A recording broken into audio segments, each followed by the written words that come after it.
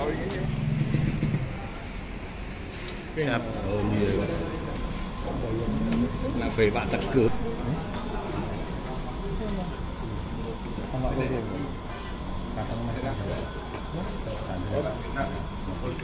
DC atau developer ini menerima surat kuasa dari leasing untuk melakukan pengambilan unit kendaraan roda empat. Kemudian korban pada saat berada di Gedung Mendu pada tanggal 2 sedang akan menghadiri wisuda keluarga. Kemudian didatangin oleh beberapa orang yang mengaku adalah eh, perwakilan dari leasing sebagai DC atau debt collector. Kemudian terjadi eh, percekcokan karena mobil tersebut dipinjam oleh eh, kreditur. Ada keluarganya yang wisuda, kemudian dipinjam, kemudian dihadang oleh mereka. Kemudian pemilik datang terjadi percekcokan, kemudian terjadi pendorongan, ada pemukulan.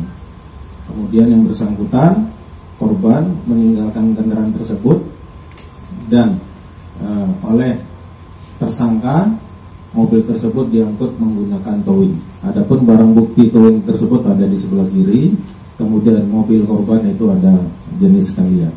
Oleh karena itu, kemudian kita melakukan penangkapan terhadap dua dua tersangka dengan inisial SN dan YA Kemudian ada empat tersangka yang masih dalam DPO. Kemudian kita tetapkan pasal 363, 365, pasal pencurian, kemudian pencurian dengan pemberatan karena pada malam hari, kemudian 368 dan pasal 55 dan 66. Ancaman hukumannya maksimal 9 tahun. Kemudian pada tanggal 8 November ini juga terjadi bahwa DC tersebut mengambil mengajak korban ke kantor leasing kemudian dipaksa untuk menyerahkan kendaraan tersebut. Namun oleh korban tidak diserahkan mobil ditinggal kunci dibawa pulang. Pada malam hari tanggal jam 21.30 tersangka memerintahkan kepada teman-teman yang lain untuk mengangkut kendaraan tersebut menggunakan towing tersebut. Kemudian dibawa ke pool dan pada saat besoknya korban datang ke sana mobilnya sudah tidak ada sehingga dilaporkan ke pihak kepolisian. Dan kami melakukan tindakan identifikasi dan menangkap ada enam tersangka. Enam tersangka yang ada di belakang ini. Perannya masing-masing ada yang memerintahkan meng, uh, mengangkut kemudian ada yang uh, ikut serta dan pasal yang kami kenakan sama 363, 365, 368, pasal 55, pasal 56 KUHP. Ancaman maksimal 9 tahun. Pada saat tanggal 6 Oktober, saya berada di pos kediaman rumah Anjir Marpaung. Saya diajak dengan Anjir Marpaung. Saya sama Anjir Marpaung ada bertiga. Saya bertiga diajak dia. Lain, ayo minta tolong lain ada mobil saat ini di kantor Cembenaga.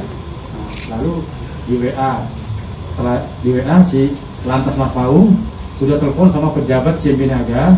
Pejabat Cembenaga menyatakan, udah itu kontrak udah habis, tuing aja bawa ke full. Nah, setelah itu Anggit Marpaung perintahkan saya suruh balas di WA, layak, suruh panggil direct tunggu di situ. Cuman itu aja saya lakukan, Pak.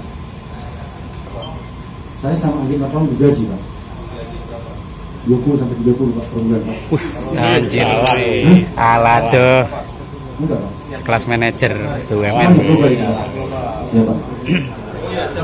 Memang itu tempat tinggal mereka di Gedung Mundu, poskonya mereka di situ. Untuk memulai semua kegiatan mereka berkumpul di situ.